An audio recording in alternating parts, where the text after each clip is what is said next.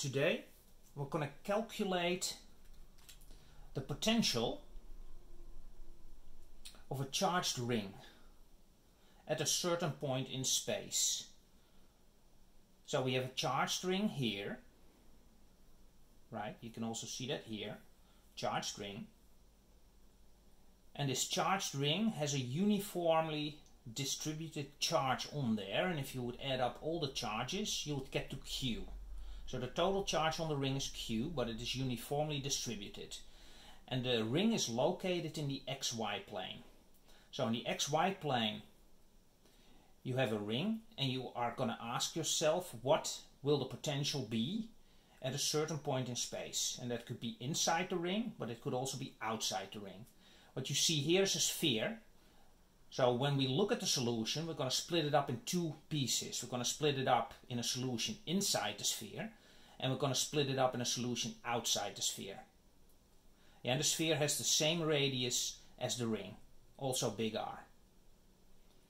Now we can do that using Laplace's equation, but we're going to use a combination of Laplace's equation and first principles. And from there we're going to calculate what the potential will be at a certain point in space. In fact, any point in, in space.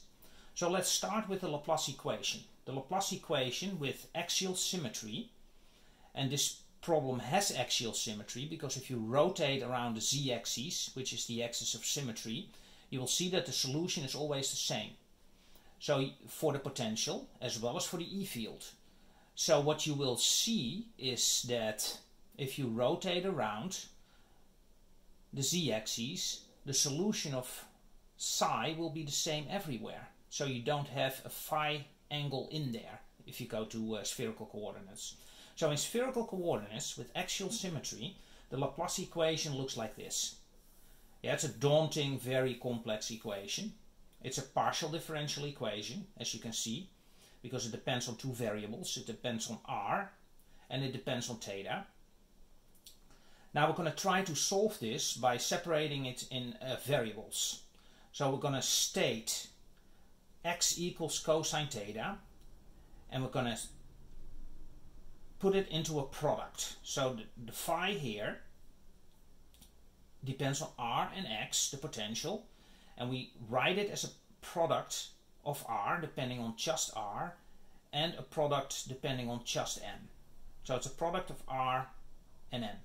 If you work that out, if you insert this equation into the Laplace equation, in this one, using this, you get two equations. You get two linear differential equations. Well, two differential equations.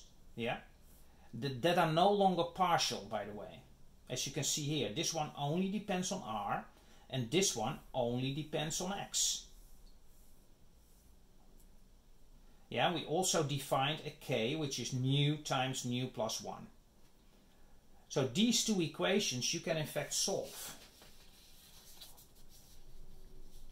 And when you solve those, you get a solution in R, which is like so. It's essentially a polynomial type of solution.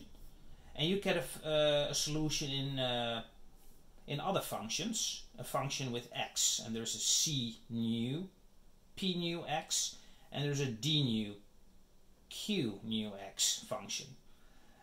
And we don't know how these functions look like yet, but these are quite complex functions. So the generic solution of the Laplace equation here, based on r and theta, now looks like this. It's the product of this one and this one, like we stated before. Now, if you go to real world problems, and you go to the problem that we are going to solve, you will find out that q will be 0 and you will have only integer values of nu, because nu in the generic solution does not have to be an integer, but here it is in our solution. And then you get Legendre polynomials. And these are quite well known, and we know how to solve these. So the Legendre polynomials here are defined as such. Yeah, and you can fill that out here and you get the generic solution. Which you will see here. So now you have the Laplace equation essentially solved in a generic way. So if we now apply it to our problem, the task is to essentially calculate A nu and B nu. And once you know those, you essentially have the potential at any point either inside the sphere or outside the sphere. We are going to do that using first principles. So we're going to calculate the value of the field, of the potential, and the electric field on the z-axis. And we do that on the z-axis because there's a lot of symmetry. And we will see that later. And then we're going to rewrite our solution into this form. And then we're going to extend it to use it for all, all thetas. So now it only works for theta equals zero, the way we solve it initially. But then we're going to extend it so that it can be applied to all thetas. So let's start with calculating the electric field on the z-axis from first principles. And we're going to use Coulomb's law for that. So Coulomb's law tells us that an E field, if you have a charge q, a distance r away, the electric field at that point will be ER and will be described as such.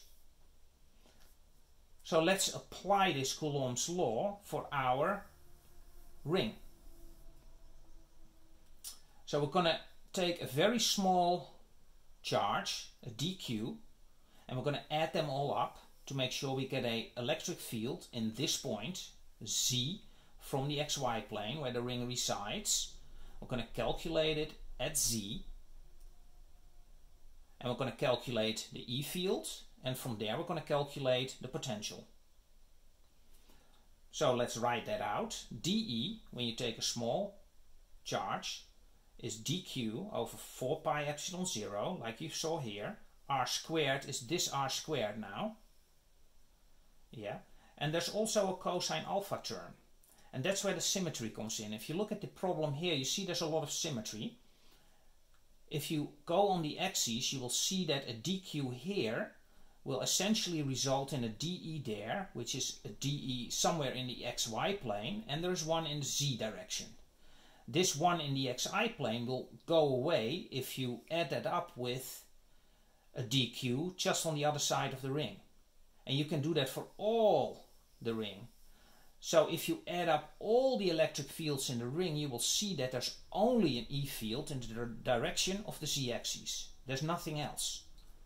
And that's a cosine, right? You have a cosine, dE cosine is essentially the, the uh, dE field in the z direction. And that's why you have the cosine here. Now the cosine is very easy to calculate. Cosine is essentially z over r. And that's what you do here. It's z over small r, which is z squared plus r squared. z squared here plus the radius of the circle, just Pythagoras, right? r squared here is the same here. I also integrate it immediately over the whole ring. And you can do that because there's no dependency the distance is always constant, so the integration does not depend on anything that happens here. So this piece remains the same. So you can immediately integrate dq over the whole ring and you get essentially t 2 pi r times lambda. And lambda is the charge per length unit on the ring. So if you would integrate out lambda over the whole ring, you will get exactly q because this is q divided by the length, which is 2 pi r, and you get the total q here. So that's why we have this.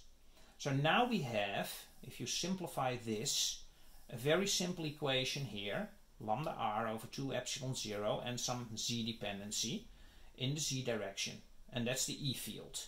And now using the gradient, you can go to the uh, potential at z. Yeah, so just do the gradient of phi z and you get your E field. So you have to integrate this E field to get phi. And that's what we do here. So the potential at z is the integration of this one and that results in this. Now you can very easily see that if you differentiate this towards z you get this value if you put a minus in front. So I, I skipped that step but it's very easy to do. Now the task is to rewrite this potential into a form that's reminiscent of the generic Laplace form. And we do that by splitting this function up into two pieces. We're going to calculate, or we're going to do a Taylor expansion when r equals, small r equals, is smaller than big R. So that's inside the sphere here. Yeah, that's inside the sphere. And we're going to do an expansion outside the sphere. And if you do that, you get these two solutions.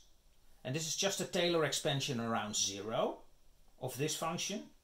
And this is a Taylor expansion around infinity because you go outside the sphere of this function. And you can do that in Mathematica, for instance, and you get these answers. You can also do it uh, by hand. Now let's now take a look at the Legendre polynomials, which are part of the generic solution of the Laplace equation that I stated before. And the Legendre polynomials are defined like such, as we did before. And if you write them out around zero, and you have to do that because theta is zero on the z-axis, you get these numbers here. And you will see that these numbers are exactly the same as these numbers in front of the solution that we came up with on the z-axis. So you can essentially rewrite your potential here, this function, you can write it in a form that's exactly identical to what we've seen in the Laplace equation's generic solution. And if you do that, the pn zeros end up here. You get an r over r, small r over big R to the power of n inside the sphere. And outside the sphere you get big R over small r to the power of n plus 1. And if you look at it, it makes sense, right? If r is smaller than 1, uh, small r is smaller than big R, you will see that it converges. Yeah, for, for this particular formula. And the same here, it also converges if r is bigger than r, because then you get numbers smaller than 1. And this will also converge as a series. So now we almost have a solution that works for us. But remember, the solution only works on the z-axis. And I replaced the z here, by the way, this used to be a z, but I replaced that with an r, which is valid on the z-axis, because z is r if theta equals 0. Okay, so now we get to our last step.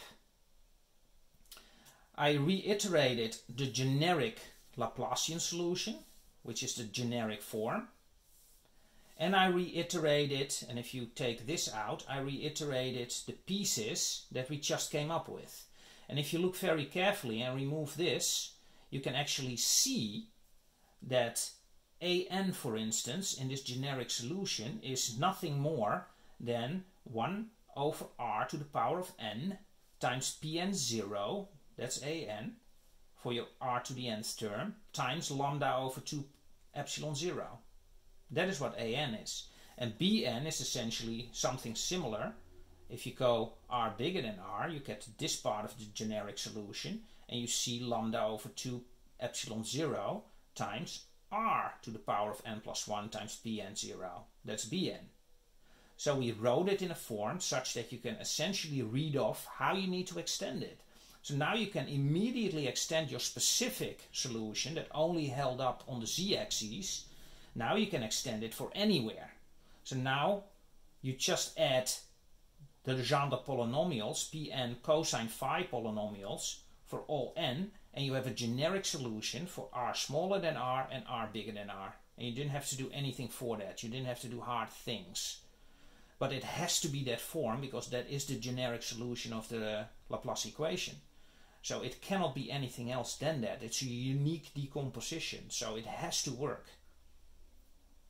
Okay, so that gives you a little bit of an idea how you can solve these rather complex problems, because it is very complex to calculate this. If you want to do this from first principles with a theta in there, it's impossible, right? It becomes really complicated. Okay, I think this is an excellent place to stop. If you like this video, please subscribe and please like. And I'll see you in the next one.